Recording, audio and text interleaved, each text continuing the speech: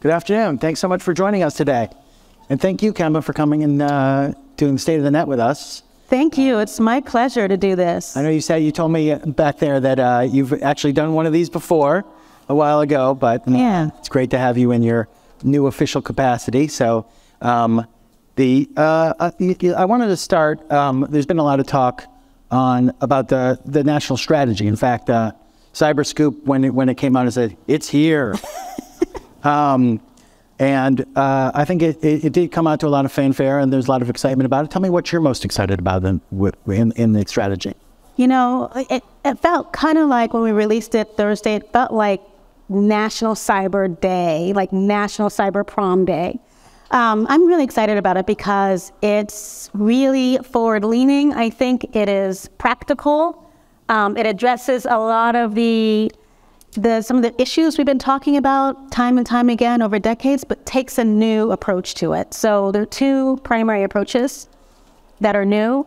We're taking a positive view of the internet, such that we're thinking about ways to lift and shift cybersecurity risk away from the end user to those that can bear it and buy it down.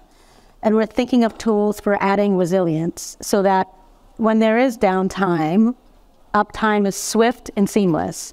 How do we do that? What are the investments we need to make to do that? Not just in the technology, but in the people and in the roles and responsibility that creates cyberspace.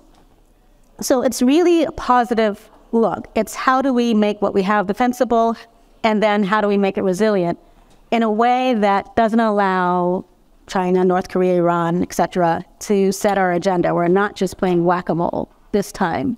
For those of us that have been in this game for a while, um, we know what how to how to respond. Right? We know that information sharing is important. We know that we have to defend what we have.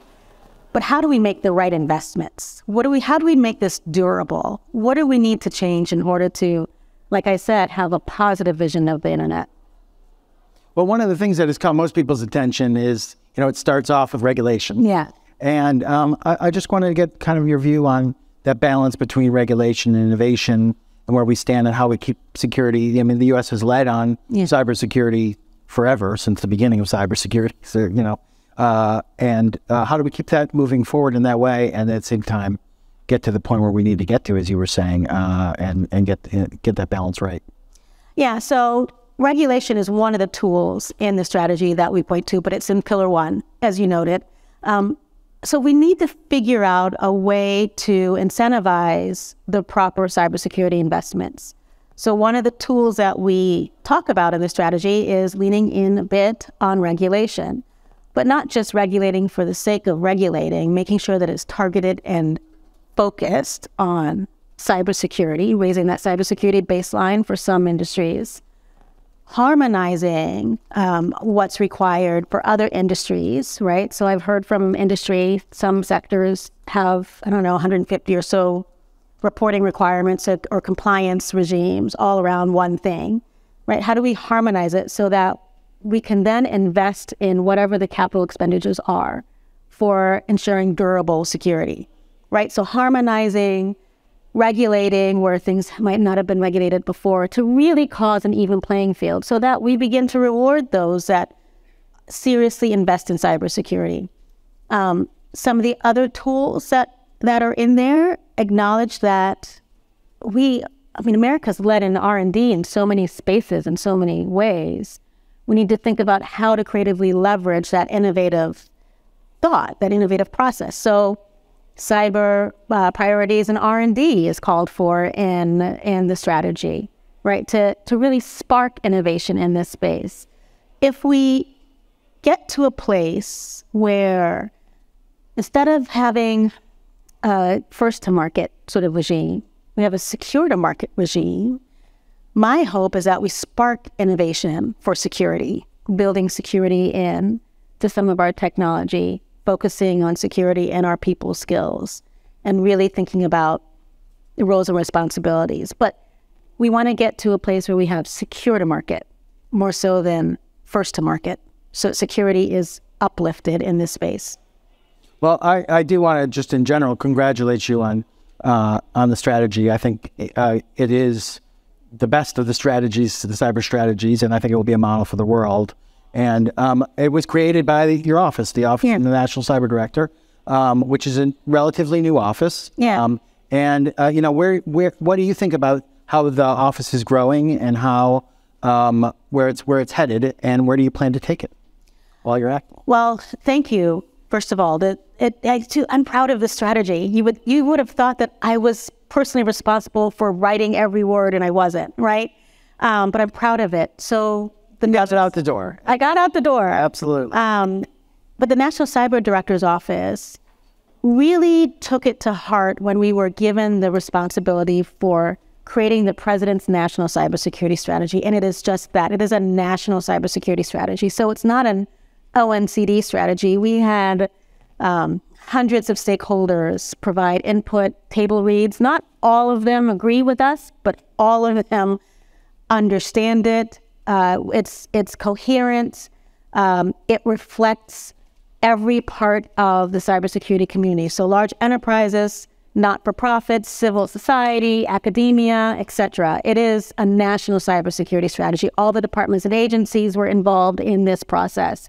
So that that's one of the reasons why, in my view, we have a really balanced, forward-leaning, bold strategy because we really took to heart how are we going to make this work, right? So the hard part begins. You have this implementation part now that we, we're leaning into. We are trying to craft our implementation plan now because we want these things to work. Some of these are going to be multi year ventures, they're going to involve everybody that we uh, engaged in the strategy building process and even more engaged in implementation. It's a whole of government, whole of society activity. Um, about the office growth, we have uh, we we have just two years old. We're toddlers, believe it or not. Um, we so I I used to be a musician. I don't play anymore, but I think of this as a symphony, right? So you've seen the first three movements. We stood up the office. We've got great people. We've launched the national cyber strategy. That is like Beethoven's fifth, right? Um, but we have the implementation plan to do. That's another movement. We have the workforce strategy, that workforce awareness and education strategy. That's where, where we have the APIs built in to this strategy. That's another movement. So we're building this symphony in order to make progress in cybersecurity and, and ultimately achieve those two fundamental principles, shifting risk and building resilience. So, I mean, Chris Inglis sold you on uh, to become the Yeah. principal deputy and to take over for him. Yeah. I'm just curious, like how how you see, um, you know, what he sold you on originally, Yeah. the vision, and what it is today, and what you want it to be, and kind of how that you, you see that moving along too. Yeah, so true fact. The day after Russia invaded Ukraine is when Chris approached me about being his second in command. So, and and prior to that moment, I hadn't actually worked with Chris on a day-to-day basis. Of course, I knew who he was. I knew his body of work. He knew my body of work. But the thing that um, really sold me on this was he saw an opportunity for me to have value in cybersecurity in this cyber space, right? So I've done it in the nonprofit world, I've done it in private sector, I've done it as a federal civilian employee. This is from a different vantage point now. He valued the type of experience that I was bringing into the into the position. He and I are like apples and oranges, right? We're just different. Maybe not even apples and oranges, like apples and and broccoli, right? Um, he's an engineer three times over. I'm a lawyer in all sorts of ways. We had different experiences. We're able to bring different um, problems, solutions to problems, and get to the same place. But it was better than either one of us could have imagined. That was a, a fantastic partnership. And the staff is built out the same way, right? So not everybody on staff are engineers. We clearly have some fantastic engineers, but we have strategists. We have those that come from the non nonprofit. We have a, um, a, a, a defense attorney that has done a lot of trial work in our. All right, we have a lot of talent, a lot of skills that really allows us to leverage the strength of the office uh, and and cause good things to happen. One of our superpowers, uh, one of the things that the geek in me really um, really leaned into is that we have this enormous power in the statute to align budgets, align cyber priorities and budgets across an agency. That's a superpower that I really like because nothing works if you're not resourced properly. I mean, what a novel concept. So, so we're positioned to really be um, forward leaning and find practical solutions to some of these problems. That's really great. Well, one of the things you, you talked about the, the first day you were Yeah. uh, asked when you were asked to come in, uh, uh, it was the Ru- Russian invasion of Ukraine. Yeah. And you've talked a- quite a lot about the fact that um, the the U.S. government has handled how they work with the private sector on that issue and the operational collaboration on it, it truly making it a public-private partnership different than it has been done in the past. I was wondering if you could elaborate a little more for this audience, which may not have heard some of those details. yeah. So And and how do we keep that going? So, one of the things that was so outstanding to me was the fact that we finally figured out a way to take classified information and get it to those that are going to be able to action it in a, in a realistic way. So, for example, uh, in Ukraine, we were we knew that we were going to sanction certain certain elements of the Russian government, and we we thought about how that might impact our critical infrastructure at home. Maybe something might happen to the financial sector. We were able to take classified information and get it to the financial sector who was able to operate, operationalize it, right? And so we were able to protect ourselves at home. That's a new way of collaboration. That's operational, that's professional intimacy. I think you've heard me say before. It's not just information sharing. We've evolved uh, and the the aggression of Russia against Ukraine has helped us get there. So we've taken that, felt like that was a pivotal moment, and we've really leaned into it. So we've used our convening power in the White House, for example, to bring in C-suite um, members, stakeholder members, right? So like the electrical vehicle market, the health, energy, and others. Um, we brought them in given them threat briefings, sometimes threat and vulnerability briefings, and one day classified read ins to give them information that they can operationalize, that they can imagine having a capital expenditure to address, not just an operational expenditure, but capital. That's why it was important that we had CEOs, COOs in these rooms, and then had a, a public conversation, an unclassified conversation among um, industry leaders and government leaders about what we can do to operationalize opportunities together, given the threat briefing. The JCDC does it in a different way than what we've done, but it's also effective. And NSA's uh, Triple C does it in its own way. It's a one-on-one type of opportunity, but the the bottom line is we have opportunities now to operationally identify uh, problems and then figure out ways to to address those problems together, right? So we have better, we have one plus one equals three. We have geometric outcomes from that kind of collaboration. That's new. I mean, at least I left government for three years or something and came back and found, pleasantly found, a new way of public private partnership. And how do you make sure that you're not overlapping with what JCDC is doing or what uh, the, the NSA is doing? You know, I think overlap is not a bad thing. Honestly, I, there might be situations where if you are a part of the DIB, the Defense Industrial Base, and you want a one-to-one uh, opportunity to to collaborate with NSA as the DIB, that's the right place to do it.